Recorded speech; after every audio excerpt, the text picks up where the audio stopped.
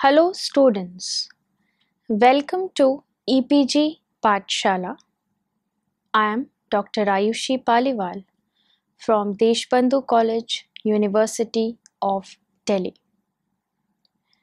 Today we are going to discuss about the module Introduction to Photovoltaic and Solar Radiation from the paper Energy Related Materials.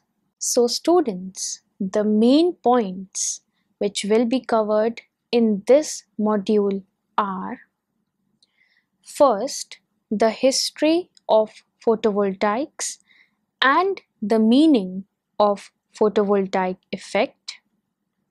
Second, detailed note about the solar radiation and black body radiation. Third, solar constant and photon flux and their calculations will be discussed. Fourth, the photosphere and the solar radiation. Lastly, we will discuss the effect of apparent motion of the sun on the solar cells. Let us start with a brief introduction about the module.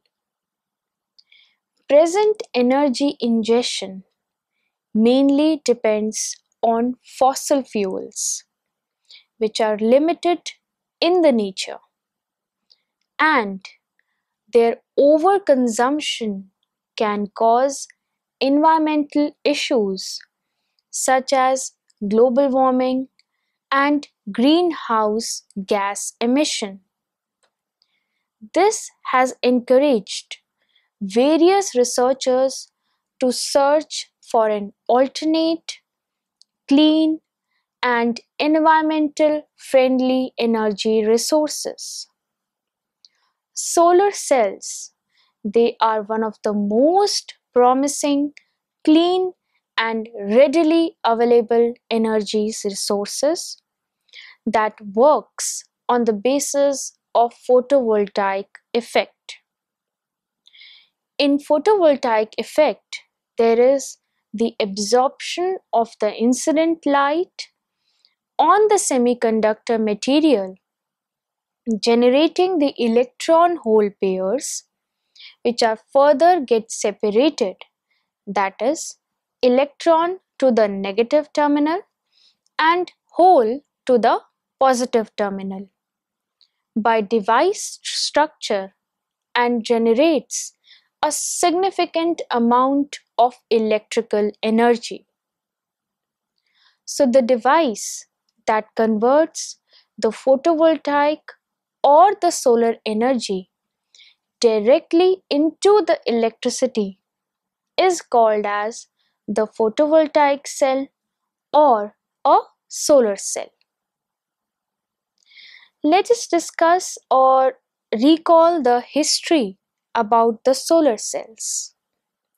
In 1839, there was a French physicist, which was Alexander Edmund Becquerel, who observed that there was a light dependent voltage between the two electrodes immersed in an electrolyte. Then, in 1876, the same effect was demonstrated in selenium. Later, in 1883, the first solar cell was built by Charles Fritts, who coated the semiconductor selenium with an extremely thin layer of gold to form the junctions. The device was only around 1% efficient. Next, later on in 1941, first silicon based solar cell was demonstrated.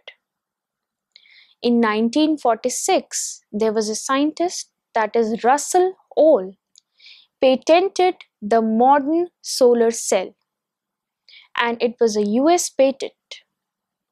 In 1954, there was a beginning of modern solar cell research. Finally, in 1958, first spacecraft is using the solar panels and it was by US satellite Vanguard 1. Photovoltaic effect. This effect is the basis of the conversion of the sunlight directly into the electricity. When light is absorbed by the matter, photons are given up to excite the electrons to higher energy states within the material. And the condition for this is that the energy of the photons, that is h nu, must be greater than or equal to Eg.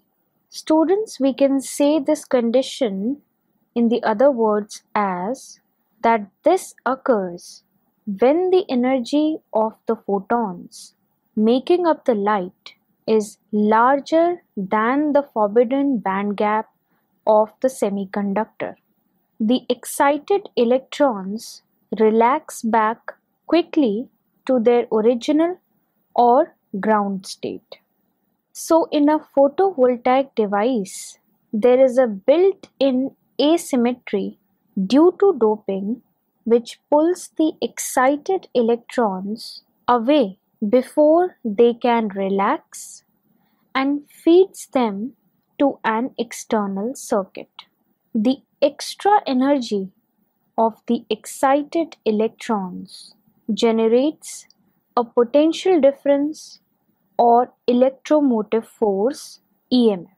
This force drives the electrons through a load in the external circuit to do an electrical work. Now let us discuss what is a solar cell. Solar cell is also known as a photovoltaic cell or PV cell. This is basically a device that converts a light energy that is a solar energy directly to electricity. It supplies a voltage and a current to a resistive load that is the light, battery or motor. And the power is nothing but the current multiplied by voltage or the current square multiplied by R or voltage square by R. The term solar cell is designated to capture the energy from sunlight, whereas PV cell is referred to an unspecified light source. It is like a battery because it supplies DC power, but it is not like it because the voltage supplied by the cell changes with the change in the resistance of the load. So as you can see that there are three solar cells have been shown where the first one all the sunlight is falling on the solar cell in the second one of half of the sunlight is falling on it and in the third one it is totally. Now let us discuss how does this photovoltaic or the solar cell works.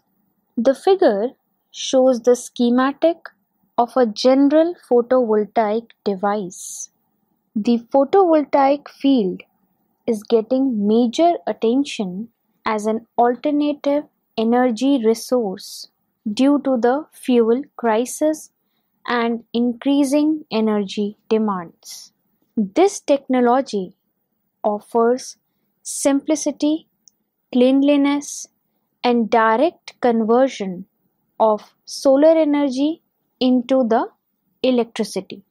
So as it is evident from the figure that there are two metallic conducting strips and this is covered by a glass lens which is used to focus the solar radiation from the sun onto the metallic conducting strips. Now these electrons and the holes they are separated by the external potential which has been applied on these metallic electrodes. As you can see that there is a N-type silicon bar and a P-type region in order to form a PN junction diode and this yellow part shows the depletion region. So when the light falls on the diode, the electron hole pairs are generated and they are separated due to the external potential applied. A symbol of a PV cell is also shown. So there are various advantages of solar cells over other conventional power systems such as first solar cells produces electricity through direct conversion of solar radiation into electricity without involving any thermal process. Second, solar cells are quiet, reliable, modular, durable, and compatible with almost all environments. Fourth, solar cells can be utilized and located at any place. And fifth, solar cells they have high power to weight ratio in comparison to other energy resources. However, solar cells they have some disadvantages such as solar cells show poor conversion efficiency, the fabrication cost of them is very high, and lastly, the solar energy is irregular as solar cells generates electricity only when the sun shines which varies with effect of solar intensity. However, solar cells have been utilized in various promising applications. The use of solar cells in space program is one of the most important applications for the last 25 years and is still one of the important application. There are more than 500 satellites in various orbits in the space which are being powered to a large scale by solar cells. However, the use of solar cells to provide electrical energy for terrestrial applications will be certain if the problem of economic availability of them has been solved. Hence, in order to provide reliable and competitive electrical power for terrestrial applications, solar energy field brought to an intensive research platform around the globe during the past two decades and are expected to continue to do so. There are various types of semiconductor materials which are being used for solar cell fabrication to convert the solar radiation into the electrical energy. These materials include silicon, gallium arsenide, cadmium sulfide, cadmium telluride, etc. Amongst them, only silicon and cadmium sulfide has given promising results. The solar cell based on single crystal silicon provided an efficiency of about 20% at air mass 1 insolation. However, the high cost limited its use in terrestrial applications. Hence, in order to reduce their cost and make them economically feasible, solar cells need further investigation. The high cost of silicon solar cells is not only because of high fabrication cost, but it also includes assembling many cells into a large area and make them durable and weatherproof. On the other hand, The thin film solar cells based on cadmium sulfide are less expensive than silicon solar cells. However, these cells are operated at a much lower efficiency. Now let us discuss what is a solar energy or what are the sources of solar radiation. The sunlight from the sun is the basis of life on earth. It determines the surface temperature of the earth as well as provides energy for all kind of natural processes on the earth. Furthermore, the application of photovoltaics or solar cells depends on the availability of sunlight. So, the sun represents a sphere of gas heated by nuclear fusion reaction at its center where hydrogen atom melted into helium 1. All kinds of hot bodies released electromagnetic radiation with a spectral distribution which determines the temperature of the bodies.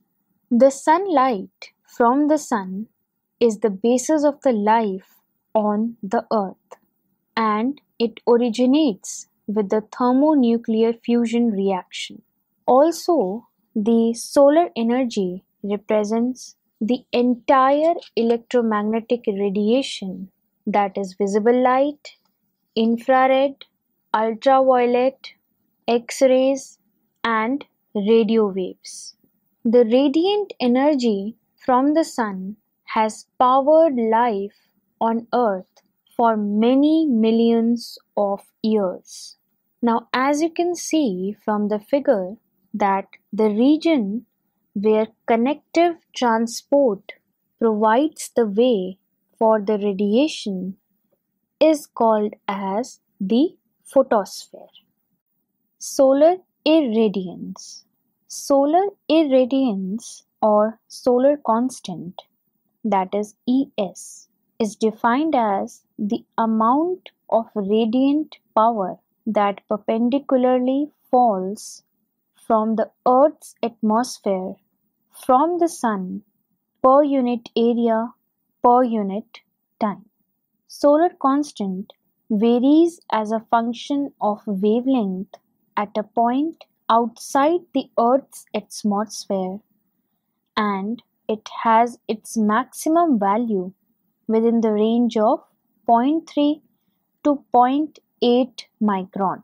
Generally, this radiation intensity, which describes the solar constant, is alternatively known as AM0 radiation, which is shown by the red curve in the graph.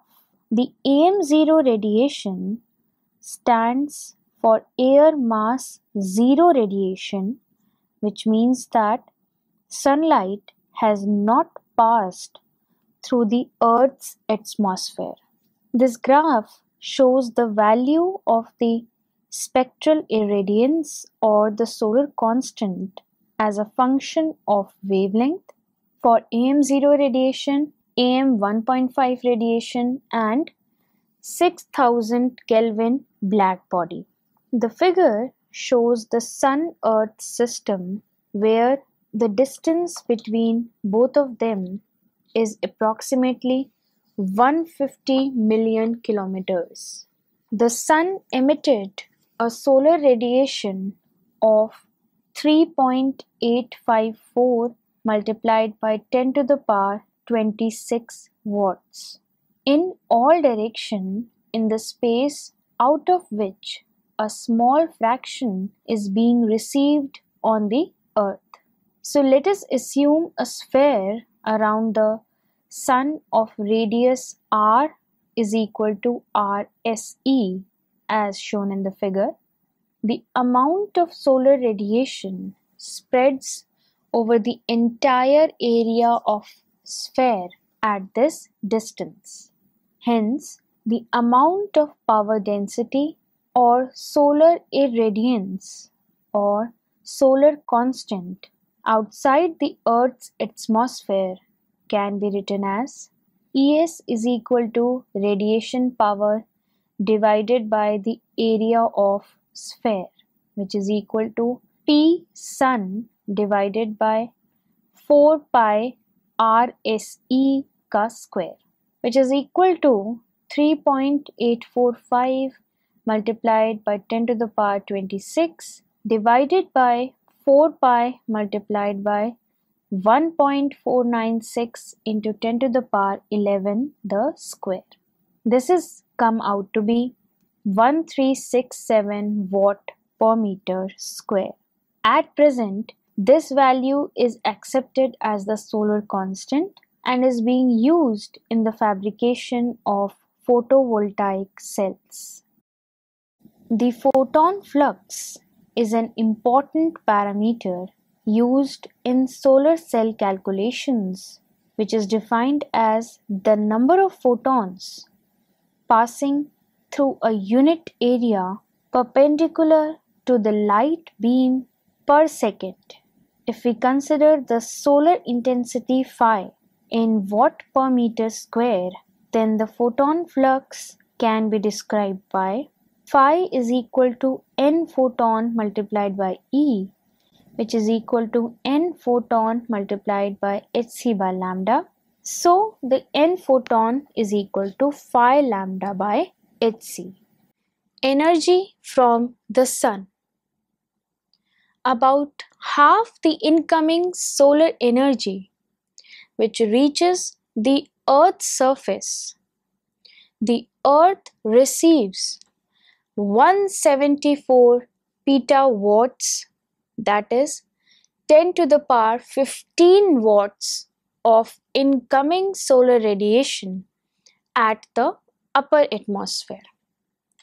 Approximately 30% is reflected back to the space while the rest is absorbed by the clouds, by the oceans and the land masses. Earth's land surface, oceans and atmosphere absorbs solar radiation and this raises their temperature. The sunlight which is absorbed by the oceans and land masses keeps the surface at an average temperature of around 14 degrees Celsius. So, by photosynthesis, the green plants they convert solar energy into the chemical energy which produces food, wood and the biomass from which the fossil fuels are derived. The amount of solar energy reaching the surface of the planet is so vast so that in one year it is about twice as much as will never be obtained from all of the earth's non-renewable resources of coal, oil, natural gas and mined uranium combined together as intermittent sources. Solar and wind wind rays issues. Air mass. Usually the intensity of the solar radiation is reduced by approximately 30% after passing through the Earth's atmosphere. The major factors which affects the intensity of solar radiations are Rayleigh scattering that is scattering of sunlight by the molecules present in the atmosphere, scattering of sunlight by dust particles and aerosols, absorption of solar radiation by the gases present in the atmosphere such as oxygen, ozone, water vapor and carbon dioxide etc.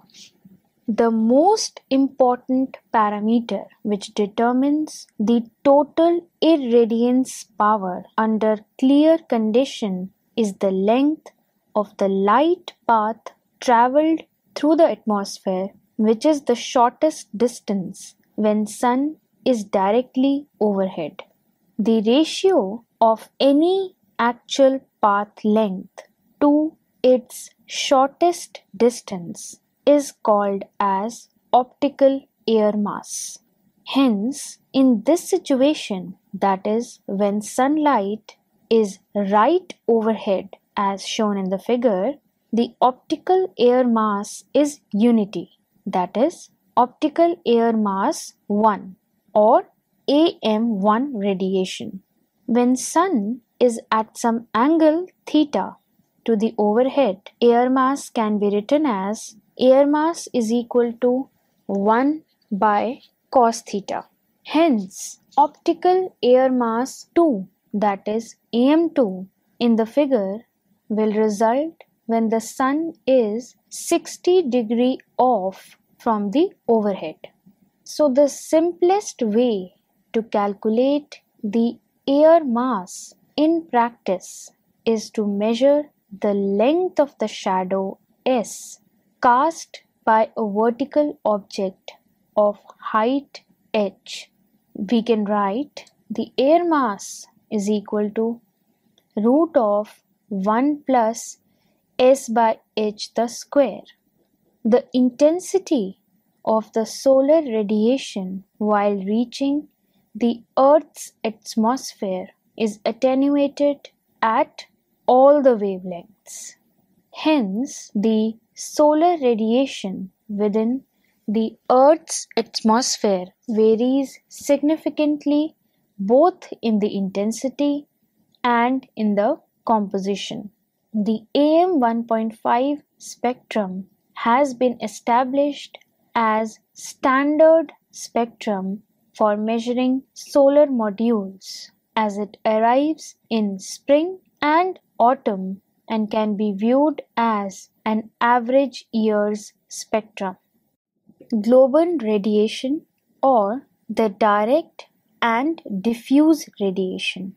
The composition of terrestrial sunlight or AM0 coming from space got weakened due to various effects such as scattering and absorption. Hence, in the summation of AM 1.5 spectrum, we received only 835 watt per meter square. Thus, out of the originally available solar radiation, that is 1367 watt per meter square, the Earth receives just the 61% of radiation, which is called as direct radiation. Furthermore, atmospheric scattering of light gives rise to significant results in indirect or diffuse radiation. So both the direct and diffuse radiations they are schematically shown in the figure. Here the weak radiation portions coming from all directions of the atmosphere and are added to diffuse radiation. So the sum of both the direct and diffuse radiation is called as global radiation that is represented by Eg is equal to E direct plus E diffuse. Generally, the contribution of diffuse radiation is often undervalued. However, in Germany, the diffuse radiation added a greater contribution to global radiation than direct radiation throughout the year. For example, in Hamburg, the average diffuse radiation or H diffuse is 1.52 kilowatt hour per m square d against a H direct of 1.08 kilowatt hour per m square d. Hence, the diffuse radiation contributes almost 60% to the yearly global radiation.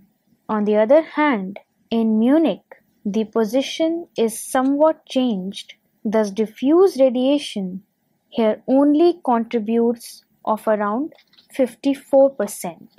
Diffuse sunlight has different spectral composition than direct sunlight that is it will be richer in shorter or blue wavelengths which provides further availability in spectral composition of light received by a solar cell system.